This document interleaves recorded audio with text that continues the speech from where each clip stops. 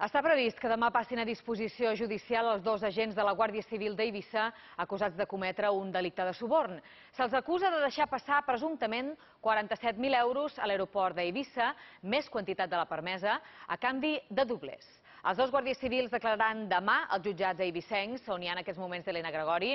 Helena, bon dia. Què sabem fins ara?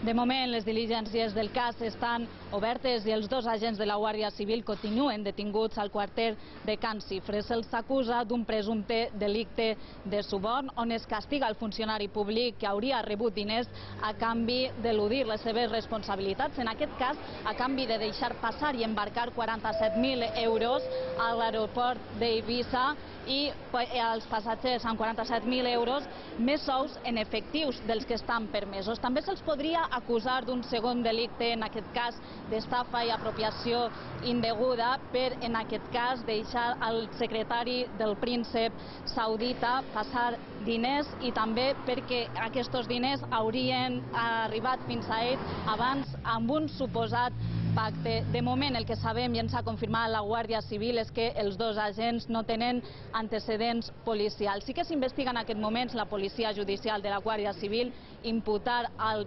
secretari del príncep per un suposat delicte de suborn.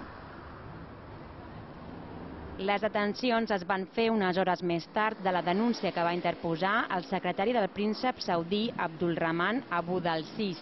El secretari acusa els dos guàrdies civils de quedar-se amb 8.000 euros del príncep, sous que ell mateix duia quan va sortir de l'aeroport d'Eivissa cap a París. Segons pareix, els guàrdies civils detectaren que el secretari del príncep portava 47.000 euros en efectiu i l'advertiren que no podia viatjar amb aquesta quantitat, ja que el màxim de capital permès en efectiu per als vols internacionals és de 10.000 euros. Així les coses, els agents acordaran que si es podien quedar amb una part dels sous del príncep 2.000 euros concretament, farien els ulls grossos i el deixarien viatjar. A pesar d'això, quan l'home arriba a París, es va adonar que en lloc de quedar-se amb els 2.000 pactats, els agents n'havien agafat 8.000 i va interposar la denúncia. Aleshores, la Guàrdia Civil va revisar les gravacions de les càmeres de l'aeroport d'Eivissa i va decidir fer les atencions. En aquests moments, la investigació continua oberta.